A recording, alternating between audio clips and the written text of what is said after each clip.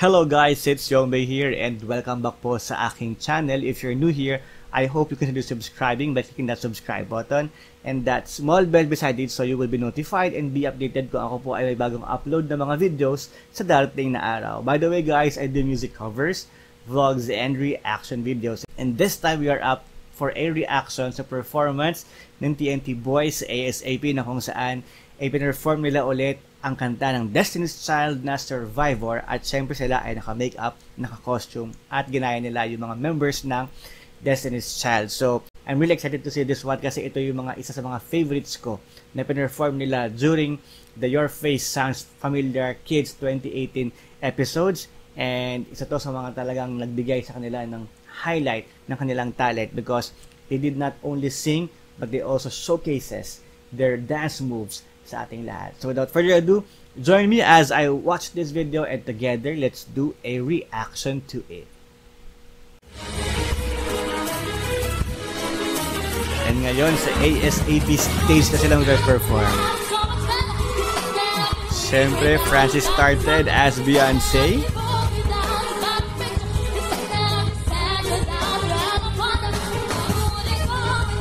This time it's Maki bilang Kelly Rowland. At si Kiefer naman ay si Michelle.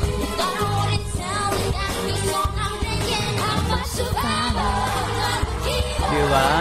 Ganun pa rin silang harmonies and voicing talaga eh, no? And this is not an easy song to sing because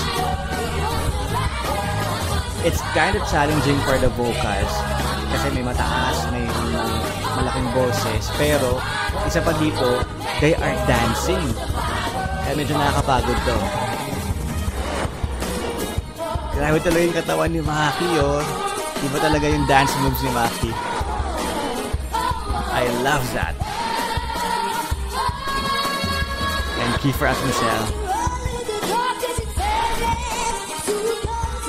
Dito ako nabili sa performance nito when Kiefer started, sobrang kaboses niya si Michelle. Kamukha niya.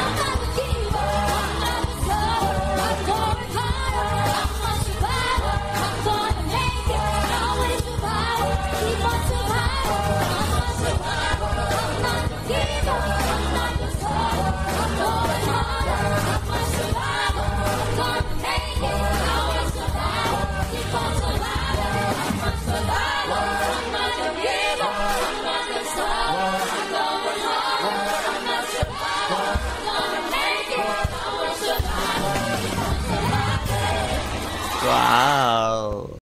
So guys, that was the performance of TNT Boys sa ASAP na kung saan pinerform nila ulit yung Survivor of Destiny's Child. And before I give you my insights and further reactions, I would like to give a shout out and thanks syempre sa Team A na walang sawang sumusuporta sa aking channel at sa aking mga videos. Thank you guys for always watching my reaction videos, especially sa TNT Boys.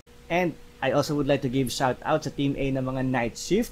At sila ay sila, syempre Miss Maricel, Miss Gina, Miss Charlotte, Miss Jo, Miss Teen, Miss Gwen, Miss Roslyn, Miss Reese, and Miss Norina. At syempre, isa talaga sa pinaka-na-miss ko ng i-shout out ay walang iba kundi si Miss Mary Ann Ibabaw. Thank you very much for always supporting my channel and watching my reaction videos. And syempre, special thanks po sa walang sawang suporta rin po ni Miss Jane Fuerte, ni Sir Leonard, at syempre kay Sir Diggs po. Thank you very much po. And here are my insights and reactions sa performance ng TNT Boys. Sabi ko nga, this is not an easy song to sing because aside from doing the challenging vocals of Destiny's Child's music, eh kailangan yung moves, yung sayaw ay present.